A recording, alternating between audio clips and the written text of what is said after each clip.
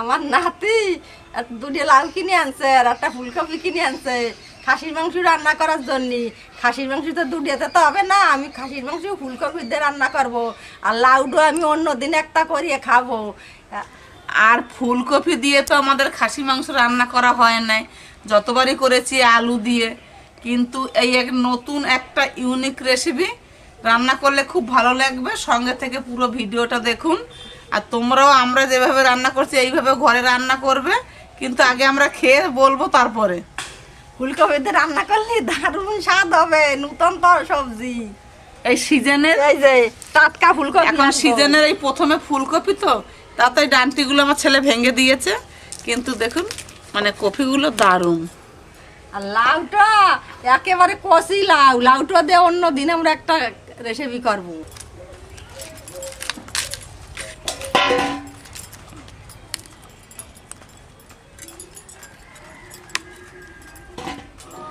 কপিটা আমি বড় বড় পিস করে নিলাম এই যে। মাংসটা এখন ধুয়ে নেব। আর মাংসটা আজকে খুব ভালো এনেছে আজকে। মানে একদম হাড্ডি নাই। তেল অল্প দিয়েছে, অল্প তেল তো দেবেই। তার মানে যারা বিক্রি করছে, তারা তেলটা কি করবে?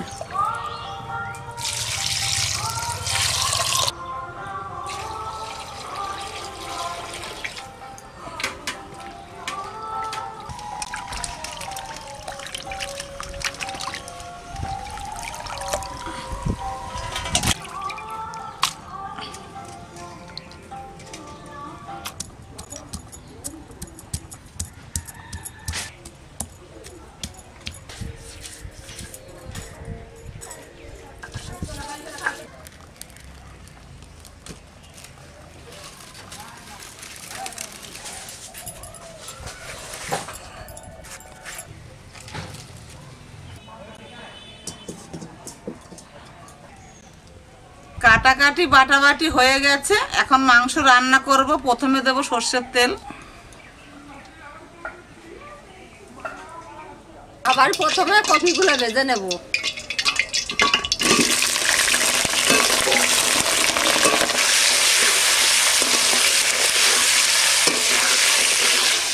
কপিটা না মানে ডুবো তালে ভাজলে এই কপিটা গন্ধ গন্ধ লাগবে না বুঝলো তো?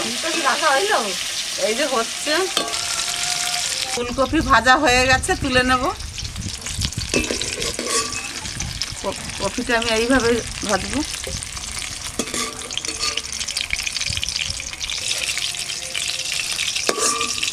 এত বড় কপি দেয়া? এখন দিয়ে ভাজা হয়েছে আর অল্প একটু হয়ে গেছে এ তো হবে আর নেই। হ্যাঁ হ্যাঁ? সবার এক পিস সবার হবে হয়ে। তো আলু দিয়েই খায় আজকে একটু ফুলকপি দিয়ে খাবে। ফোড়নে দেবো তেজপাতা শুকনো লঙ্কা গোটা জিরে।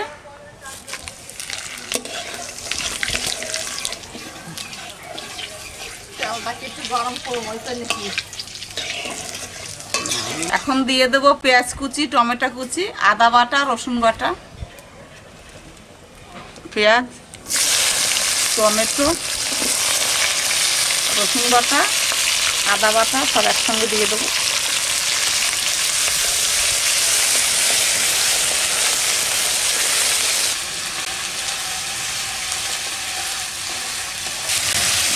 দেখছ, এখন আগুনটা জলছে কত সুন্দর। পেঁয়াজ, আদা, রসুন ভাজা ভাজা হয়ে গেছে। এখন ধুয়ে রাখা মাংসগুলো দিয়ে দেবো। ধুয়ে রেখেছিলাম, জলটা ঝরিয়ে নিয়েছি।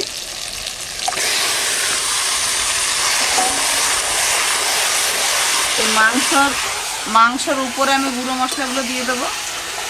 প্রথমে দেব লবণ, স্বাদ অনুযায়ী। হলুদ গুঁড়ো। লঙ্কার গুঁড়ো। জিরে গুঁড়ো। যা নাড়াবি জালটা তুলে দিই। মশলাটা মানে মাংস উপরে দিলাম ভালো হবে। না করে দৌড়ে উঠে না করে যায়। দেখো সাবধানে কাজ করো।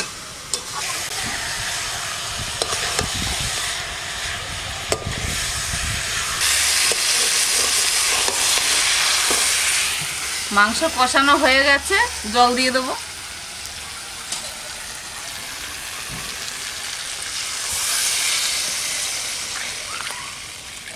খাসি মাংসতে একটু ঝোলটা বেশি দেব, সিদ্ধ হতে টাইম লাগবে।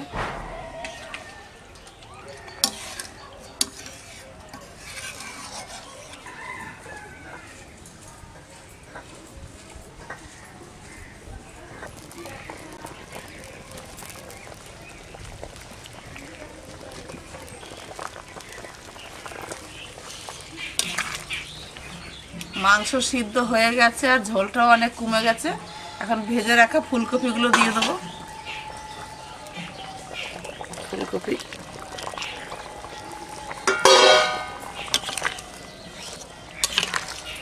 এক করে জল দেছে এক করে জল শুগইয়া ওইটুক হয়েছে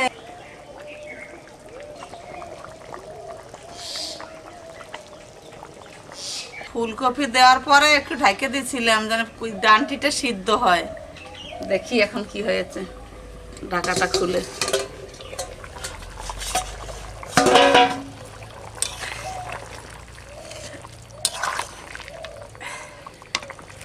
এই তো, মাংস হয়ে গেছে। এখন এই গরম মশলা দিয়ে নামাই দেবো। দেখি তো গামলাতে নিয়ে কেমন সিদ্ধ হয়েছে মাংসটা। হ্যাঁ মাংস একদম সিদ্ধ হয়ে গেছে। ফুলকপি দিয়ে মাংস রান্না হয়ে গেছে। গরম মশলা দিয়ে নামিয়ে দেবো। গরম মশলা।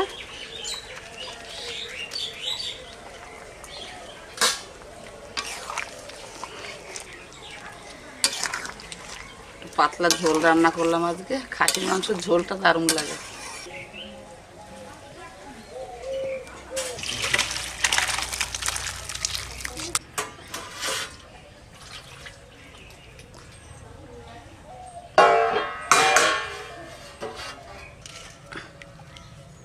আজকে ফুলকপি উঠছে আমার পাতে আগে। ফুলকপিগুলো দিদা বড় বড়ই কেটেছে আজকে।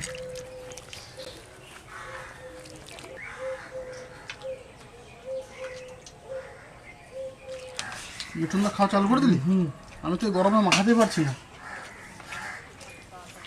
মিঠুন দা কিন্তু খুব গরম সহ্য করতে পারে। কারণ নামানোর সাথে সাথে দেখুন কীভাবে খাচ্ছে। আর এত গরম আমি মাখাতে পারছি না।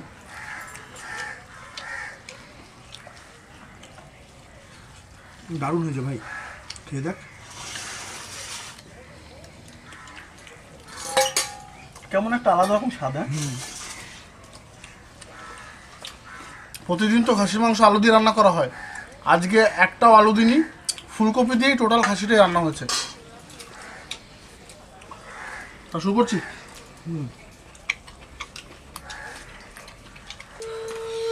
দিদা আজকে সেই পিস করেছে ফুলকপিগুলো। ফুলকপির স্বাদটাই আলাদা রকম হয়ে গেছে বন্ধুরা। দারুণ টেস্ট হচ্ছে আমাদের রেসিপিটা তোমরাও ঘরে বানিয়ে খাও, খুব ভালো লাগবে। আর অতি অবশ্যই কিন্তু এই শীতের প্রথম প্রথম ফুলকপির টেস্ট আলাদা থাকে। খাসি দিয়ে একবার রান্না করে খান দারুণ লাগবে। বড় বড় পিস করলি না স্বাদ বেশি হয়। ফুলকপি যদি এরকম বড় পিস করি না তার স্বাদ মাংসতে বেশি হয় ফুলকপি তো টেস্ট বেশি হয়। দারুণ হচ্ছে দাদা খাও।